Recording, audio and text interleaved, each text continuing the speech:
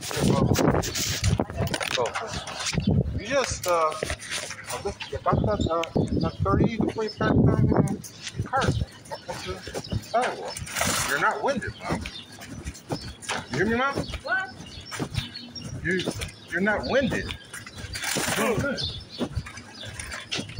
Remember? No. I'm. Okay, mom.